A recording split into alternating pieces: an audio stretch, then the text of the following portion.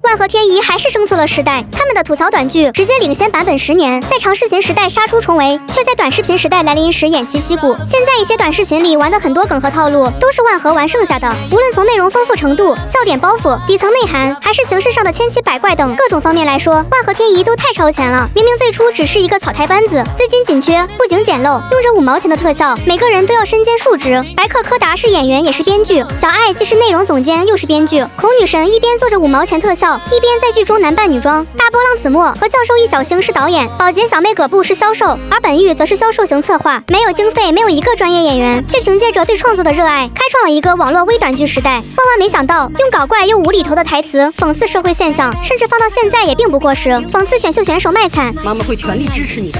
你看，这是断绝母子关系的协议书，赶紧签吧！签完之后你就是单亲家庭了，这样参加歌手选秀节目你就有优势了。甚至精准预言了国足零比七惨败。都七比零了，果然我还是无能为力。难道我注定拯救不了中国足球吗？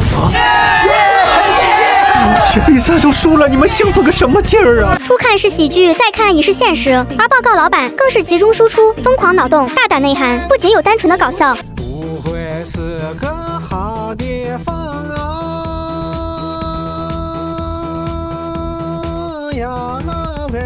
还有直接的内涵。如果我是一个买不起公交卡、充不起 QQ 会员、吃煎饼果子加不起蛋的女孩，你还会喜欢我吗？他们不同于现在一些影评博主为了吐槽而吐槽，而是吐槽、致敬再创作，借用观众熟悉的设定制造共鸣，再用自己的套路出乎意料。他们用恶搞的方式，肆意的去表达、去输出、去讽刺一些内容，放到现在根本过不了审。现在想来，与其说他们生不逢时，不如说或许正是由于处在那个时代，才能百花齐放、野蛮生长，才会有这样一群年轻人，单纯为了创作走到一起。就我觉得我们这帮人就是创作者，其实就凑到一块儿，就是因为创作凑到一块儿的。而现在的他们也并没有停下自己的脚步，依旧在绞尽脑汁带来更优秀的作品，为我们创造快乐。而我们怀念万和天宜，或许也是在怀念那个时代，怀念我们的青春吧。